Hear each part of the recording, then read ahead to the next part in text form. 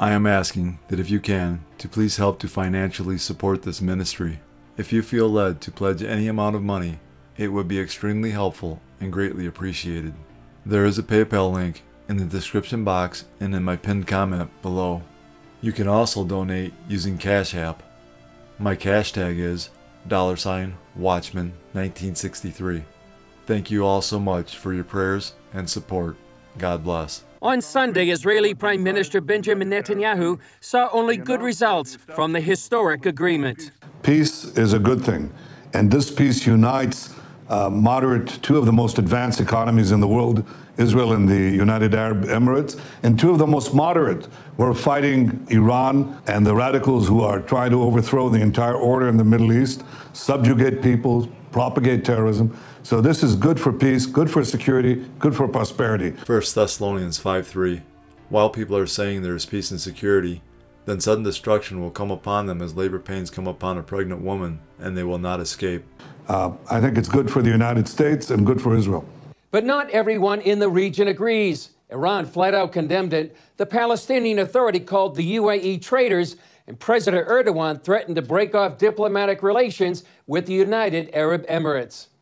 Exact suspects that you would expect to hate this deal hate this deal. Best-selling author and Middle East expert Joel Rosenberg tells CBN News Turkey's reaction to the peace deal is revealing. Why is that interesting? Because Turkey has a relationship. They have full normalization with us here in Israel. So the idea that the would-be sultan of Turkey is condemning a Muslim state for creating a full normalization with Israel that he already has, it's ridiculous and it's hypocritical. But it's indicative of the fact that Erdogan is taking his country out of the Western moderate camp into the Iranian Islamist, more radical camp. And that's, that's a long term, very serious problem.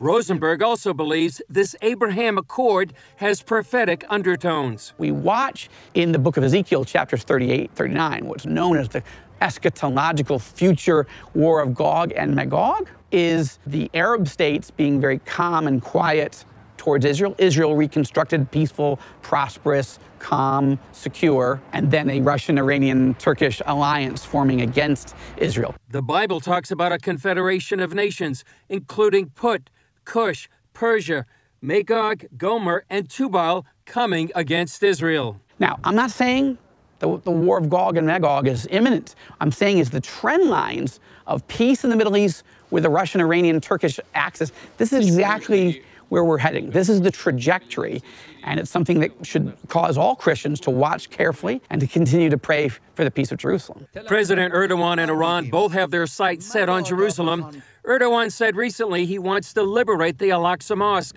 and Iran wants to conquer the holy city. Ezekiel 38 1 through 9. The word of the Lord came to me Son of man, set your face toward Gog of the land of Magog, the chief prince of Meshech and Tubal, and prophesy against him, and say, Thus says the Lord God Behold, I am against you, O Gog, chief prince of Meshech and Tubal. And I will turn you about, and put hooks into your jaws, and I will bring you out, and all your army, horses and horsemen, all of them clothed in full armor, a great host, all of them with buckler and shield, wielding swords. Persia, Cush, and Put are with them, all of them with shield and helmet. Gomer and all his hordes, Beth Togarmah from the uttermost parts of the north with all his hordes. Many peoples are with you. Be ready and keep ready, you and all your hosts that are assembled about you, and be a guard for them. After many days you will be mustered. In the latter years you will go against the land that is restored from war, the land whose people were gathered from many peoples upon the mountains of Israel, which had been a continual waste. Its people were brought out from the peoples and now dwell securely, all of them. You will advance, coming on like a storm. You will be like a cloud covering the land, you and all your hordes, and many peoples with you. These are the modern day nations in Ezekiel 38 and 39 that many people believe will be mustered in the latter years to attack Israel Russia, Iran, Turkey, Libya, Sudan, and Ethiopia. As we can see by recent events, stage setting for the War of Gog and Magog is taking place as Russia, Iran, and Turkey are forming a dangerous alliance at the doorstep of Israel's border. God tells us exactly what will happen to Iran, Russia, Turkey, and the many peoples with you when they attack Israel in Ezekiel 38, 18 through 23, and 39 2, 7 and 8.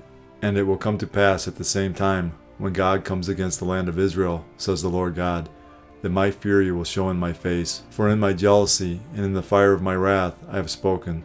Surely in that day there shall be a great earthquake in the land of Israel, so that the fish of the sea, the birds of the heavens, the beasts of the field, all creeping things that creep on the earth, and all men who are on the face of the earth shall shake at my presence. The mountains shall be thrown down, the steep places shall fall, and every wall shall fall to the ground. I will call for a sword against Gog throughout all my mountains, says the Lord God. Every man's sword will be against his brother, and I will bring him into judgment with pestilence and bloodshed.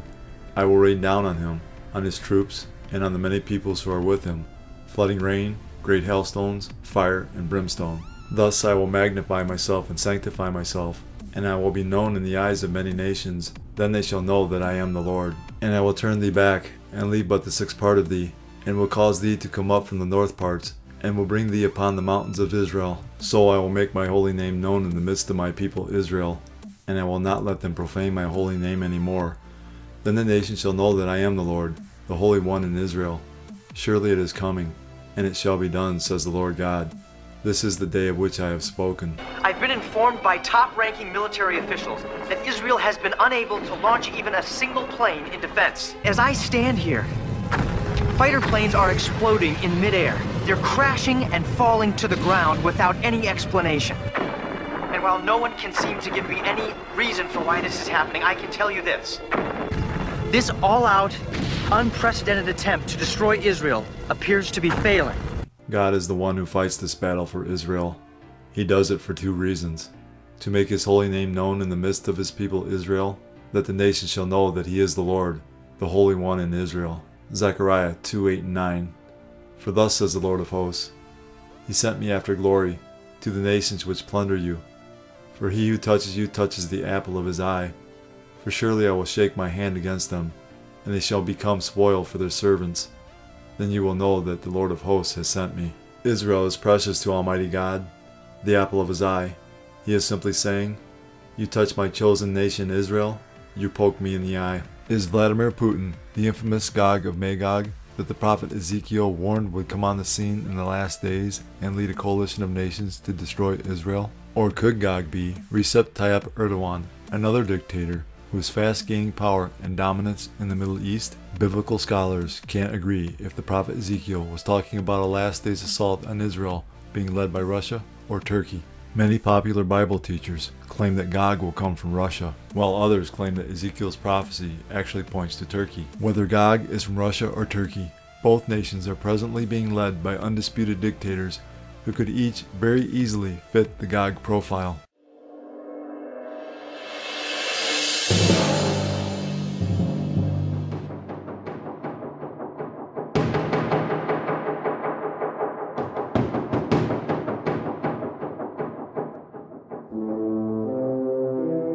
Welcome to the Watchman YouTube channel. This channel is all about world news and Bible prophecy, pointing to the soon return of our Lord and Savior, Jesus Christ.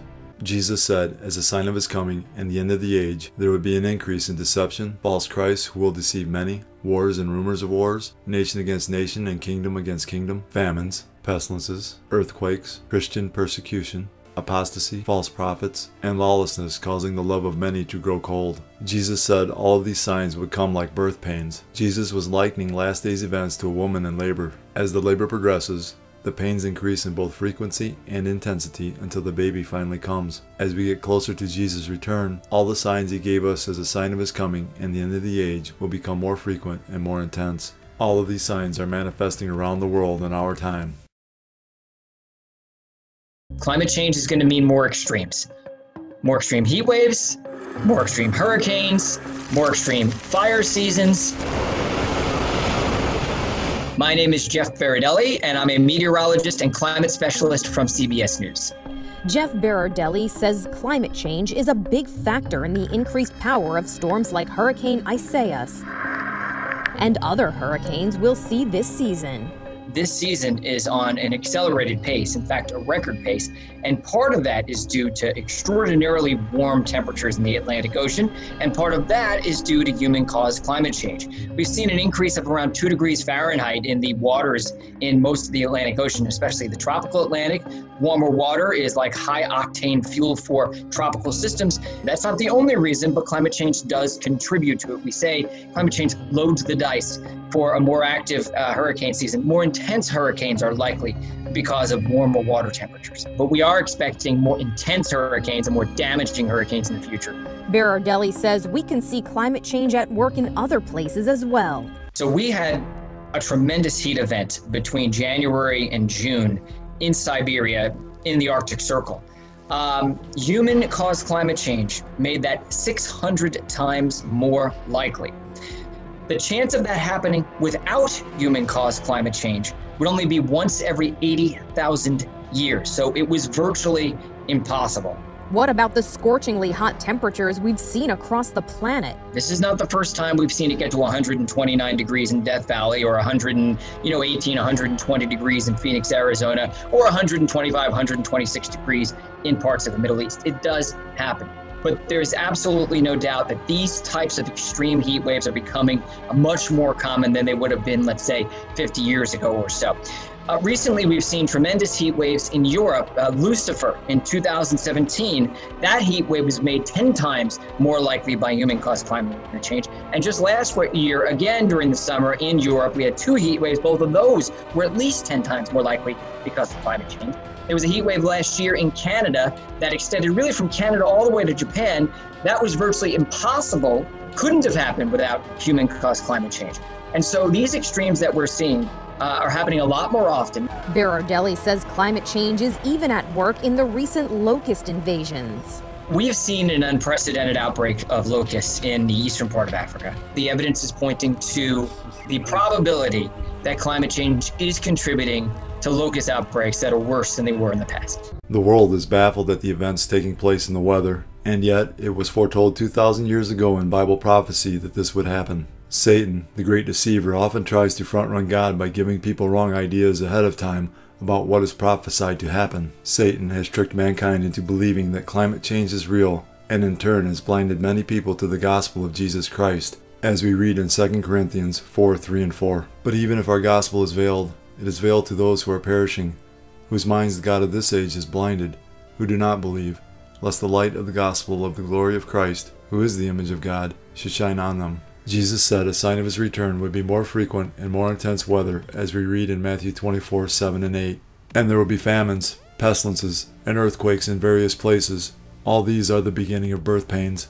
Pestilence is the Greek word loimos, which means a plague. Definition of a plague is any large scale calamity, especially when thought to be sent by God. God has used plagues in the form of extreme weather in the past and will again in the future. The seventh plague on Egypt was hail. Don't forget about the famine in Joseph's time. One of the biggest is the flood in the book of Genesis. In the future, during the seven year tribulation, God will once again use extreme weather in the form of pestilence as judgment. In Revelation 16:21, God uses hailstones weighing 100 pounds each, and great hail from heaven fell upon men, each hailstone about the weight of a talent.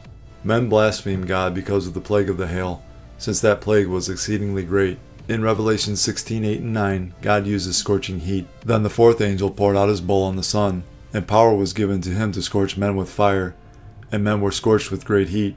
And they blasphemed the name of God who has power over these plagues, and they did not repent and give him glory. Climate change is simply Satan's counter to Jesus' signs of his return and the end of the age. So when Jesus Christ warns us that just before his second coming there will be famines, pestilences, and earthquakes in various places, you had better believe that these occurrences are a sign from God and that he is about to intervene. Don't let Satan blind you to the gospel of Jesus Christ. The extreme weather the world has been witnessing is not climate change. It is God letting us know our Lord and Savior, Jesus Christ, is returning. California is in a state of emergency this morning because of dozens of wildfires and extreme heat. The fires have destroyed some homes and thousands of people have been ordered to evacuate. Carter Evans has more on the terrifying double threat. California's fire season arrived early and with a vengeance. Northern California's wine country is now among the hardest hit areas. Two separate sets of fires there burned nearly 70,000 acres in the last 24 hours with little to no containment. Some roads became almost impassable, engulfed in wall to wall flames. Hundreds of homes are threatened by the fast spreading fires fueled by record high temperatures and even lightning strikes. All the forces on our alignment to make this a very challenging fight. Meanwhile, homes like this one have been incinerated. Its owner, Amy Cook, had evacuated and learned of the damage on a phone call with one of our CBS Sacramento reporters. And I'm really sorry to have to tell you this, but your house is gone. Okay. All right, I'm just going to take this in. It's devastating to lose everything. We don't have anything now. Death Valley's Furnace Creek hit 130 degrees Sunday, according to the National Weather Service. If verified, it would be the hottest recorded temperature on the planet since July of 1913, which also happened at Death Valley. All of California right now is under a flex alert through at least Wednesday, with some predicting this could be one of the biggest heat waves of this decade. An asteroid the size of a car flew past Earth, nearly missing it. It's the closest asteroid to fly by our planet that has been recorded. And, and get this astronomers say they had no idea it even happened, that it existed, until after it had passed by. NASA may have updated its plans to protect Earth from an asteroid strike, but an object the size of a pickup truck about 1,800 miles away passed by our planet, making it the closest one to do so that's ever been documented. It's called 2020 QG, the asteroid that flew past Earth on Sunday, coming from the direction of the Sun. And according to Paul Chodas, NASA's director for the Center Near Earth Object Studies, the agency didn't see it coming. And while the asteroid is the closest object to pass Earth ever to be reported, experts say that it's not considered dangerous and would have likely broken up in the atmosphere. However, experts say an asteroid will eventually hit Earth impact uh, of the Earth by an asteroid large enough to do damage at the surface is an extremely rare event. According to the report, the object was detected approximately six hours after it flew past Earth's southern hemisphere at a speed of 27,600 miles per hour. Now, NASA scientists say that the likelihood of an asteroid hitting Earth is still extremely rare, and if that did happen, it wouldn't happen until a very distant future. And right now, there aren't any asteroids that pose a significant threat to Earth on their list. However, they do point out that there are still thousands of asteroids that they have not found yet. The seven year tribulation is fast approaching this world, and the news headlines prove it. God, in His grace and mercy, is trying to shake the world out of its complacency. We are currently living in a time Jesus refers to as the birth pains. Jesus is likening last day's events to a woman in labor. The closer we get to Jesus' second coming, last day signs and calamities will become more frequent and more intense. Following the rapture of all true Christians to heaven, the Bible warns us that the wrath of God will be poured out on an unrepentant world. One of the judgments described in the book of Revelation includes a massive asteroid impact as we read in Revelation 8, 10, and 11. Then the third angel sounded, and a great star fell from heaven, burning like a torch, and it fell on a third of the rivers and on the springs of water. The name of the star is Wormwood. A third of the waters became wormwood, and many men died from the water because it was made bitter. The Bible tells us a large asteroid will strike the earth in the near future, and no early warning detection or system to deviate the trajectory of this asteroid will do any good. Putting your trust in these systems will not save you from the wrath of God. Only putting your trust in Jesus Christ can save you, and he is the only way. Acts 4:12. Nor is there salvation in any other, for there is no other name under heaven given among men by which we must be saved. More than 30,000 people around the world have now volunteered to take part in human challenge trials to be deliberately infected with the coronavirus in the hope of speeding up research into a vaccine. They're from a group called One Day Sooner, which argues that if we can get to a vaccine faster, even by just one day, we could save thousands of lives. Let me break down how this works. In a normal vaccine trial, I would go to the lab, be given the test vaccine, and then sent out into the world, and researchers would wait for me to catch the coronavirus coronavirus naturally. The problem is, what if it takes weeks for me to catch the virus? What if it takes months? There can be a real lag time. In a human challenge trial, I go to the lab, I'm given the test vaccine, and then scientists deliberately infect me with the coronavirus. So it cuts out that lag. The risks, however, are real. There's no known cure for the coronavirus right now. What happens if an otherwise healthy person dies during one of these experiments? We spoke to one of those 30,000 volunteers, a British teenager named Alistair, and we asked him, are the risks worth the benefits in an experiment like this? This is what he had to say. It's a scary thought, and um, obviously we need to really carefully think about and accept that things could go wrong and they really could go wrong. And you know it's easy for me to sit here now and, and say i think this is a great idea but um, if i end up in hospital if i end up on a ventilator then i think i would still think the same thing because it's providing so much good so much of humanity that nothing i do would be in vain Allison, the scientific community is divided over human challenge trials. Some scientists will tell you they can be done safely using young people who are less vulnerable to the virus. Other researchers say there's just too many unknowns about COVID 19. There's no way to structure an experiment safely. There's about 160 vaccines being worked on around the world right now. So far, nobody is using human challenge trials to test them. But scientists at Oxford, who have one of the most promising vaccine candidates, say they think human challenge trials could be useful in their work. This debate about speed versus safety isn't going away, and it's only likely to heat up as more of those vaccines reach the stage where they're ready for large scale human testing. Luke 21:25 And there will be signs in the sun, in the moon, and in the stars, and on the earth distress of nations, with perplexity, the sea and the waves roaring. One of the many signs we are living in the last days right before the return of Jesus Christ his nations will be in a state of perplexity or uncertainty over what to do in a difficult situation. This is exactly what is happening in our world today. Now to a big story developing overseas. The former Soviet state of Belarus is ruled by a man described as Europe's last dictator. But now widespread protests are trying to force him out of power after he claimed 80% support in last week's presidential election. It's raising concerns that Russia may try and take control. Chris Livesay is in Minsk, Belarus's capital. Unprecedented outrage over an election demonstrators say was stolen. By the president, they're demanding step down. Over my dead body, says Alexander Lukashenko, and forcing his opponent to flee the country. Lukashenko's refusal to step down has set the stage for a showdown with protesters who say they have nothing left to lose. Protesters savagely beaten by police. The crisis has sparked concerns from the White House. It doesn't seem like it's too much democracy there in Belarus. And widespread fears Russian President Vladimir Putin will prop up his former Soviet ally. Meanwhile, Belarus is conducting military drills along its border with NATO member Lithuania to counter alleged foreign threats. As the people of Belarus plead for one thing we want uh, clear and honest elections. After 26 years of rule, Europe's so called last dictator has lost his country. Government uprisings are now a daily occurrence in our world.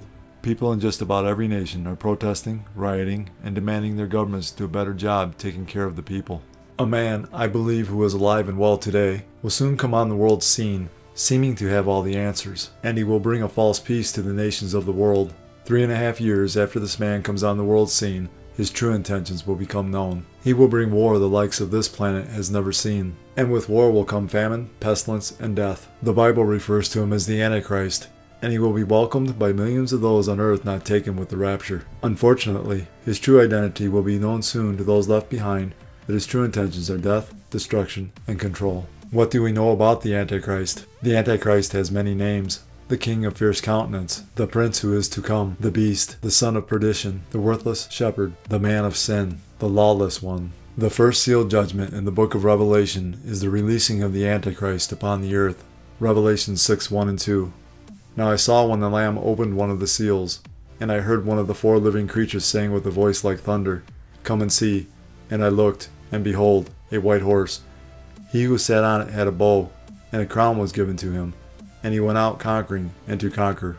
The Antichrist will be evil, yet appear as a savior. He will be outspoken and have great speaking ability. He will have a fierce countenance.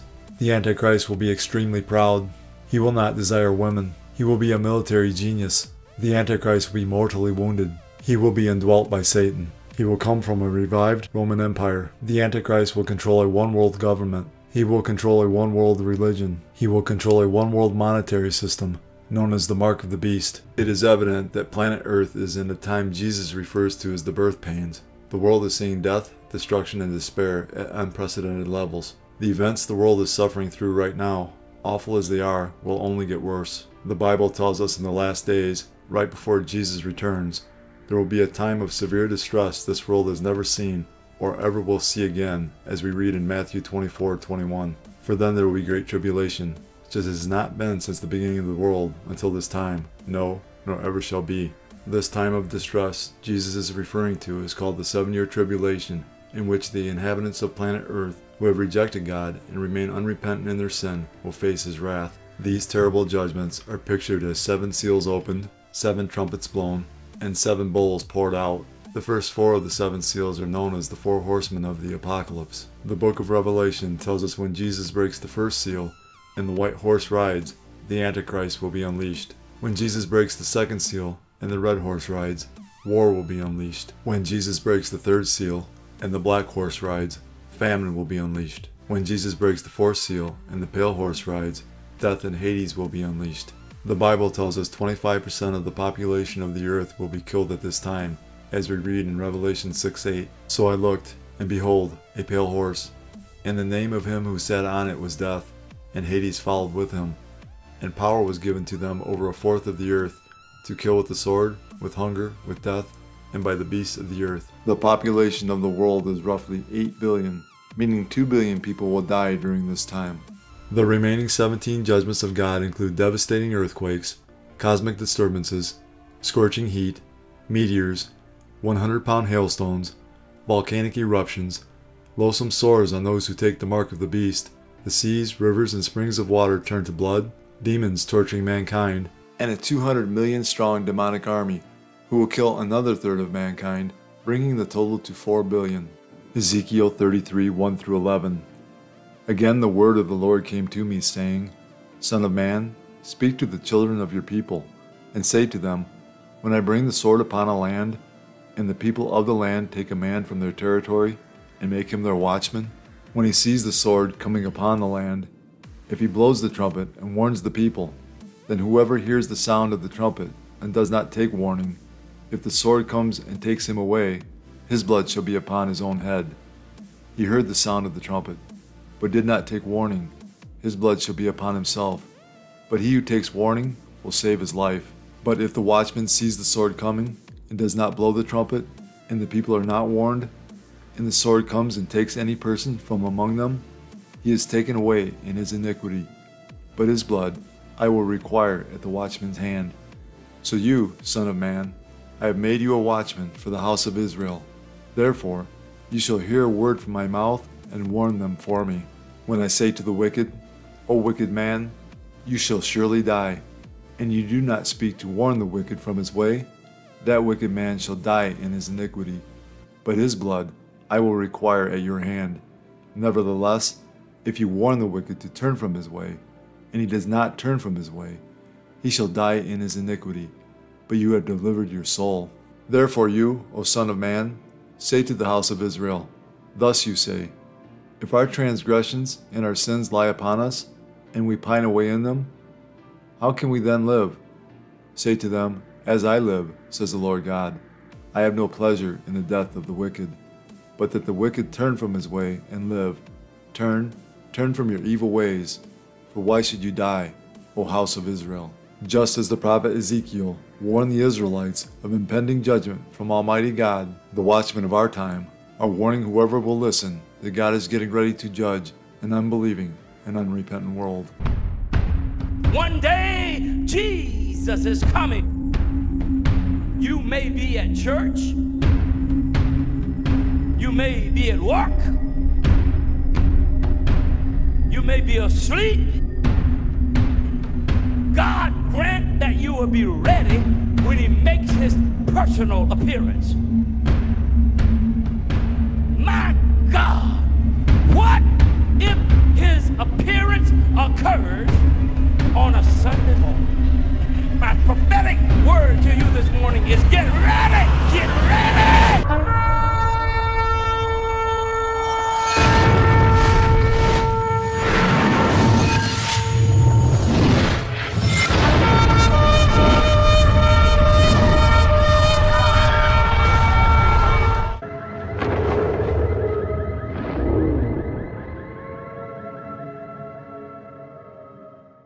The signs of Jesus' soon return are so strong now, and the evidence is so clear that any person willing to accept the truth can see that the end of the world as we know it is near. For God so loved the world that he gave his only begotten Son, that whoever believes in him should not perish but have everlasting life. For all have sinned and fall short of the glory of God. But God demonstrates his own love toward us, and that while we were still sinners, Christ died for us. For the wages of sin is death, but the gift of God is eternal life in Christ Jesus our Lord that if you confess with your mouth the Lord Jesus and believe in your heart that God has raised him from the dead, you will be saved. Jesus paid the price for mankind's sin. He has provided a way to spend eternity with him and the Father. All you have to do is believe in the Lord Jesus, and you will be saved. God has already done all the work. All you must do is receive in faith the salvation God offers. Fully trust in Jesus alone as the payment for your sins. Believe in him, and you will not perish. God is offering you salvation as a gift. All you have to do is accept it. Jesus is the only way of salvation. That being said, we must repent of our sins. While repentance is not a work that earns salvation, repentance unto salvation does result in works. It is impossible to truly and fully change your mind without that causing a change in action. In the Bible, repentance results in a change in behavior. Repentance, properly defined, is necessary for salvation. Biblical repentance is changing your mind about Jesus Christ and turning to God in faith for salvation. Turning from sin is not the definition of repentance, but it is one of the results of genuine, faith based repentance towards the Lord Jesus Christ. Time is short. Accept Jesus today.